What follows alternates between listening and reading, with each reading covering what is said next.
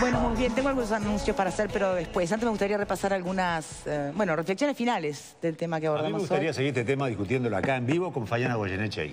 Me parece que podría ser interesante por el tema filosófico que se plantea, que estuvo sobrevolando. Estaría bueno discutirlo. Me parece que es un tema que amerita. ¿Habrá sido realmente una cuestión de fondo filosófico o un error? De- ¿Viste cuando uno Bueno, a veces le puede pasar que dice algo infeliz? Bueno. Eh, Yo creo que de debatir este asunto ya estamos bastante cansados. Lo que hay que hacer es Actuar, justamente ¿no? actuar, Mm. hacer. Que todo el mundo se deje de escribir cartas en esta era de la inmediatez y se sienten todos a la mesa a ver cómo cada uno puede contribuir Ahora- para que el, el- el ser humano viva mejor. Viste como el fenómeno, como es interesante en el fenómeno hoy de la era digital. Hay que volver. La carta, ¿no? Ah, tiene un peso que no tiene ni el tweet, ni, ni, ¿no? ni, ni muchas otras Ca- este, cara a formas cara y- de y- y comunicación. mano a mano. Bien, Ale. Sí, el riesgo de- estos asuntos es generar falsas oposiciones, ¿no?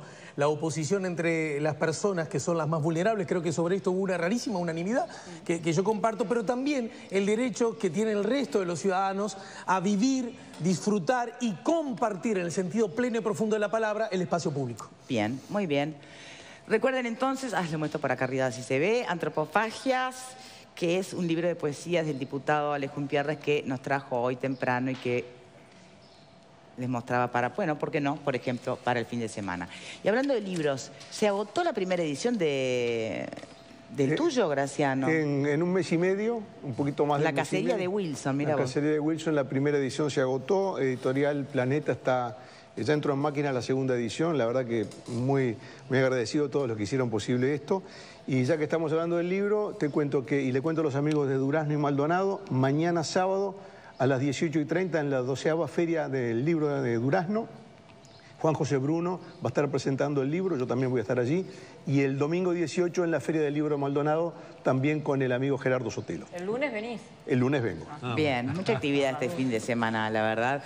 Yo les cuento, por ejemplo, el domingo está la famosa, digo famosa porque se hace todos los años, que es la paella gigante solidaria a beneficio de la Fundación Por Saleu, que ayuda a pacientes con leucemia o linfoma, dándoles alojamiento a quienes son del interior mientras realizan los tratamientos en el Hospital Maciel.